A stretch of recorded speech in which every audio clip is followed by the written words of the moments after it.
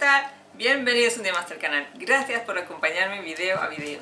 Hoy traigo maquillaje navideño, espero que os guste mucho. Voy a intentar hacerlo de la forma más sencilla, más rápida, porque sé que son días que no podemos estar tres horas maquillándonos, porque tenemos muchas cosas que hacer.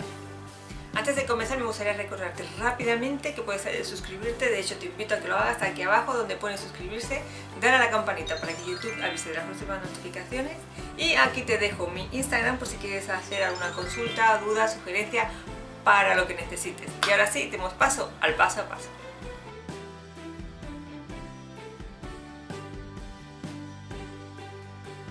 Voy a comenzar por definir mis cejas. Quiero que el párpado quede bastante amplio, como veis, fijaros cómo están mis ojos hoy. Este totalmente caído, hundido, como lo queráis llamar, fijaros. Este está medio que, pero este parece que pega esta noche un puñetazo. Así que quiero levantar un poquito las cejas para tener más espacio de trabajar y dar la impresión de que los ojos son un poquito más grandes. Ahora voy a coger una brochita plana, un poquito de corrector y voy a definir por donde quiero que vayan las cejas. Las voy a ir preparando para hacerlas. Del final lo abro más, quiero levantarlas un poquito, que quede la mirada más abierta. Esto no es más que un poquito de corrector para que a mí me sirva de guía. Ahora sí voy a pasar a darle forma a las cejas, voy a utilizar la pomada de KVD.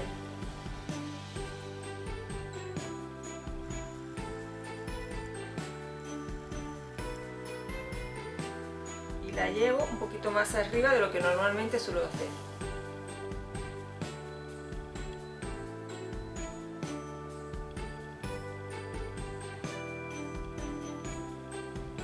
Vamos a pasar a, aplicar corrector o prebase de sombras en nuestro párpado, tanto móvil como fijo. Yo voy a aplicar corrector.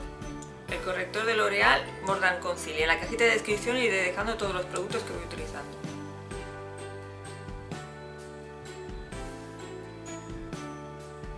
Ahora voy a pasar a difuminarlo muy bien, que no quede ningún tipo de pliegue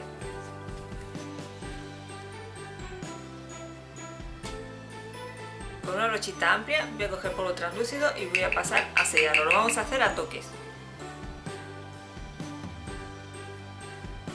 Voy a utilizar la paleta de Rude C Fantastic con una brochita también amplia, no tanto como la que he utilizado antes, pero bastante amplia. Vamos a pasar a hacer nuestra sombra de transición. Lo voy a hacer utilizando el tono L'amour. Recordad que siempre debemos quitar el exceso antes de empezar a aplicar el producto en nuestro rostro.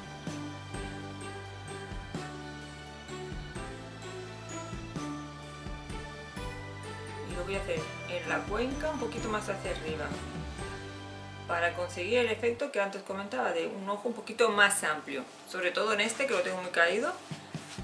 Voy a empezar por este que es el que está bien más o menos y luego voy a llevar la cuenca por el mismo sitio que he llevado con este. Este me va a servir de guía para hacer este que está el pobre de capa caída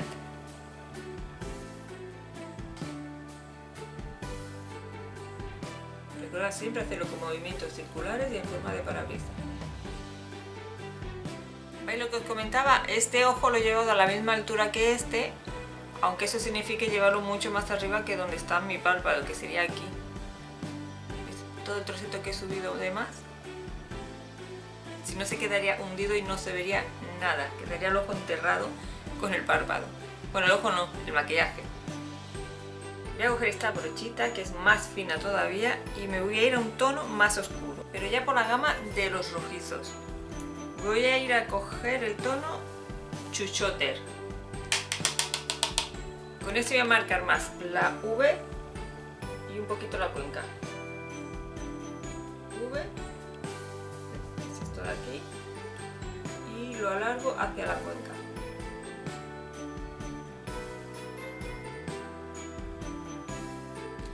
Dicen que rectificar es de sabios y este tono no me está acabando de convencer, así que como mi idea originaria era hacer un ahumado con un tono rojizo que predomine, voy a aplicar negro en toda la zona del final y un poquito en el inicio.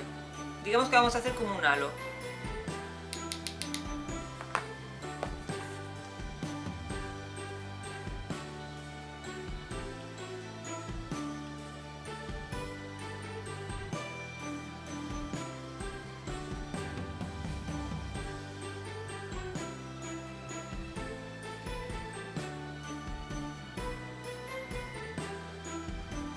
La brocha anterior y con el mismo tono, sin coger el producto, vamos a difuminar y a integrar la sombra de transición que hemos hecho y este tono negro.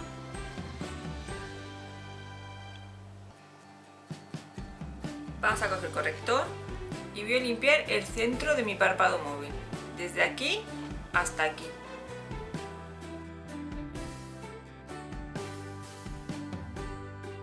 Una vez que ya tengo el corte hecho, voy a ir al tono rojo y lo voy a poner sobre el corrector.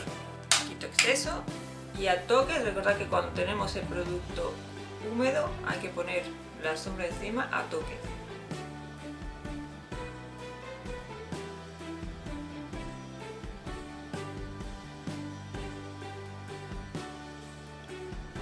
También lo voy a integrar con el negro tanto al principio, en el inicio como en el final. Voy a pasar a aplicar este glitter que es de Colourpop, pero para que quede bien agarrado voy a poner un poquito de, de glitter blue.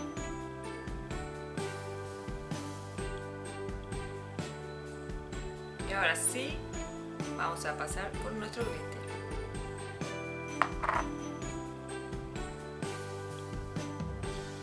sin llevarlo a raíz de las pestañas para después poder hacer el delineado. Ahora sí voy a coger mi pincel para delinear el gel de Anastasia y vamos a hacer nuestro delineado.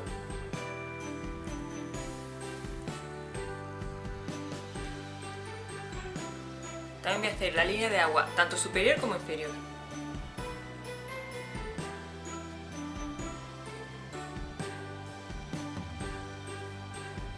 Voy a coger la brochita plana, vuelvo con la sombra negra y voy a hacer la parte inferior de las pestañas.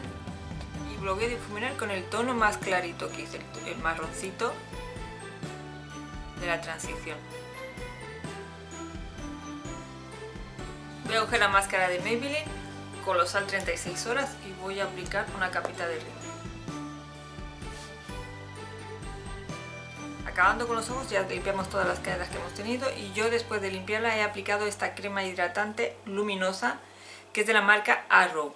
Con esto es suficiente, no voy a poner ningún premio más porque este ya da la luminosidad y la jugosidad que estoy buscando. Así que vamos a pasar a la base de maquillaje que va a ser la Super Stay de Maybelline. 30 horas. En el tono Sun. Puedes aplicarla con brocha o con esponja. Yo la voy a estar aplicando con la esponja. Voy a aplicar corrector y utilizar el Shape de Tarte en el tono 29N.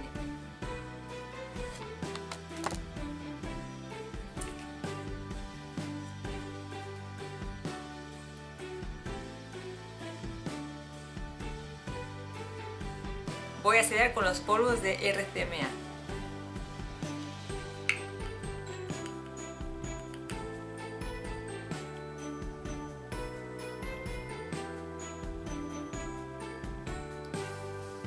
Retiro el exceso de polvo, lo único que dejo es el de la nariz. Voy a pasar a broncear el rostro con los polvos de Kiko Milano. En el tono 01 Flawless Fusion.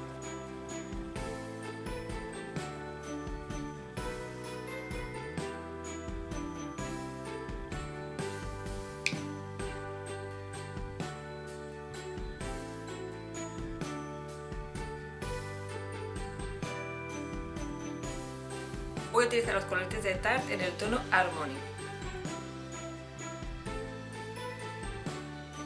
El iluminador que voy a utilizar es el de Revolution Vivid Baked Highlighter.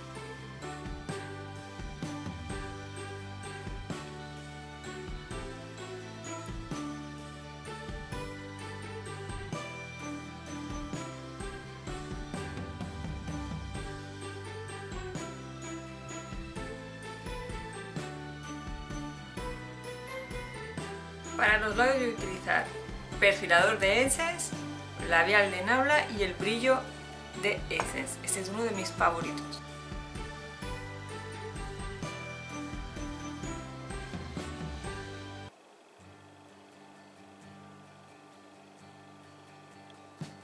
voy a peinarme, le voy a poner unos pendientes. Quiero que voy a poner pestañas postizas y os enseño el resultado.